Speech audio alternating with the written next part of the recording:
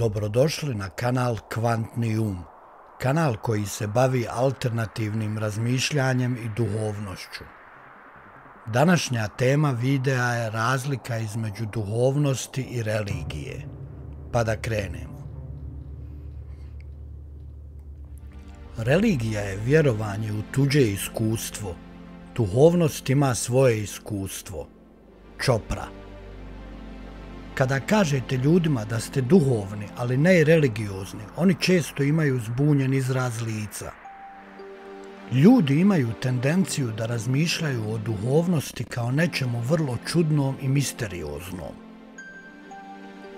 Oni se još uvijek bore da razlikuju duhovnost od religije, ali to je samo zato što ljudi u današnjem društvu imaju strah od manipuliranja i imaju nedostatak znanja kada su u pitanju nematerijalni predmeti rasprave. Istina je u tome da je duhovnost možda nešto najprirodnije što postoji. To je jednostavno samo svjesna i samo stojeća spoznaja, da ste više nego samo tijelo, da ste duša s beskonačnim potencijalom, Kako bi pojednostavili i pokušali objasniti razliku, iznosim kratak popis stvari koji će vam pomoći da uočite razlike između religije i duhovnosti. U duhovnosti nema pravila. Za razliku od slijepog praćenja određene ideologije ili skupa pravila, duhovnost vam jednostavno omogućuje da slijedite svoje srce, te vas potiče da slušate svoju intuiciju i činite ono što je pravo za vas i druge oko vas. Duhovnost u istinu oslobađa stanje u kojem možete biti najbolji i biti dobra osoba bez obećanja kazne ili nagrade. Nagrada je jednostavno vaša vlastita unutarnja sreća. Duhovnost se temelji samo na ljubavi, a ne na strahu. U povijesti religije postoji puno straha.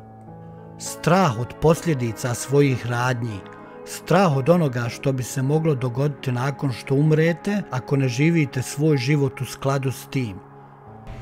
Pa i mnogi vjerski objekti kao crkve su izgrađene tako mistično da vam sam boravak u njima izaziva podsvjesni strah. U duhovnosti postoji samo ljubav. Ona vas potiče da usredočite svu svoju energiju samo na dobro i da djelujete samo na temelju ljubavi. To je ključna točka za vas i bilo koji izbor napravljen iz straha neće biti dobar za vašu dušu. Odluke iz ljubavi samo će vas osnažiti, ohrabriti i nahraniti vašu dušu. To pokazuje kako trebate stajati unatoč tome što vas je strah, kako dalje raditi ono što osjećamo da je pravo, unatoč posljedicama koje mogu doći.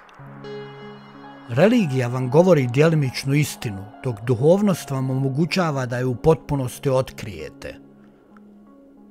Za razliku od religije koja vam kaže crno na bijelo kako je svemir nastao i zašto smo ovdje, duhovnost nam omogućuje da otkrijete ova pitanja i odgovore sami za sebe.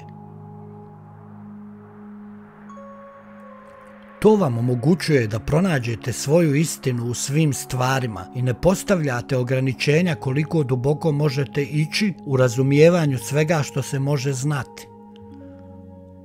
Religija razdvaja, duhovnost ujedinjuje. U našem svijetu postoje mnoge religije i sve one pripovjedaju da je njihova priča prava priča. Duhovnost vidi istinu u svakoj od njih i ujedinjuje ih, jer istina je ista za sve nas, unatoč našim razlikama i jedinstvenostima. Ona je usredočena na kvalitetu božanske poruke, a ne na razlike u detaljima priče koje govore religije. Razlika u odnosu karme i kazne. Umjesto da se govori o kazni ili prijetnjom pakla kao u religiji, duhovnost samo govori o karmi. To je zakon privlačnosti, da dobijete ono što dajete, jednostavno. Hodajte svojim putem, Umjesto starih priča o anđelima i Bogu duhovnost vas potiče da stvorite svoj vlastiti put i stvorite vlastite priče.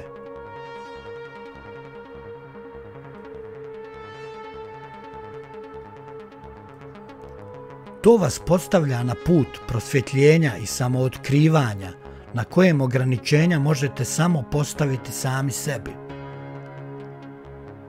To vas potiče da vjerujete u svoje srce i slijedite ga tamo gdje vas može dovesti. Ako pogledate religije, one sve prozilaze iz duboke duhovnosti. Isus i poslanik Muhammed, na primjer, svi su imali duboka duhovna putovanja prije nego što su krenuli na svoje religiozne pohode. Dakle, ja vjerujem da sve religije imaju djelimičnu istinu u sebi i da mnogi ljudi mogu biti istinske lijepe duše i religiozni u isto vrijeme. Ali u konačnici sve što vas razdvaja ili stvara podjele nije dobro za vašu dušu i definitivno nije dobro za čovječanstvo. Duhovnost nas podsjeća da nismo odvojeni, da nemamo granica, nemamo rasa i nemamo kulturnih podjela – sve što je istina je da smo svi jedno, a jedina konstanta je ljubav.